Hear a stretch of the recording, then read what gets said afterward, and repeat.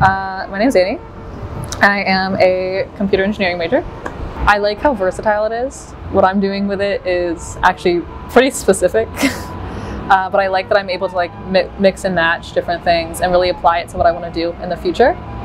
I'm doing desalination in the future, and so I am able to take a lot of classes within our major or like within my major um, to get some of that like coding and that software side of things, which is really helpful. And I'm able to like apply it in some of those uh, environmental classes and see kind of like how it all ties together, which I think is really interesting. And I just I enjoy coding as a whole, and so it does help that I enjoy what I'm learning.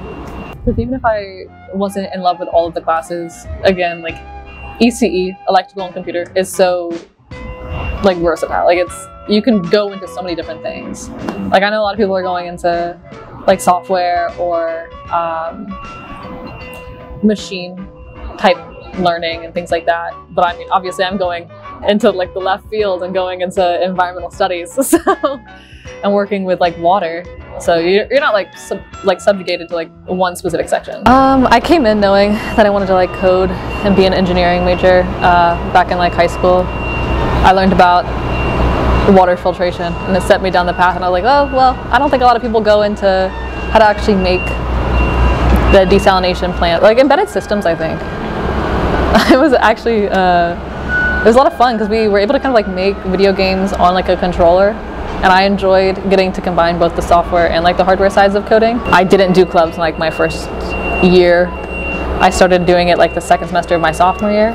I actually found that I had an easier time in classes after I joined clubs because I started meeting new people and sometimes I was like, again, more motivated to do things. Um, and when you kind of like have a schedule, sometimes you kind of like fall into a routine where you don't have like that same schedule set that you would in like high school or things like that. So sometimes having clubs where you do have like a designated set amount of people with those shared interests, um, it can definitely help. And so I think student life, even if it adds a little bit more busyness to your schedule, um, I think it's like definitely worth it, kind of like in the long run for it. Not even just for like resumes, but just for you want that social part of it. You don't feel as like burnt out. I think when you have those like designated breaks for something that you're like interested in that maybe isn't like school related, but is like a club with like your peers around, like people just your age.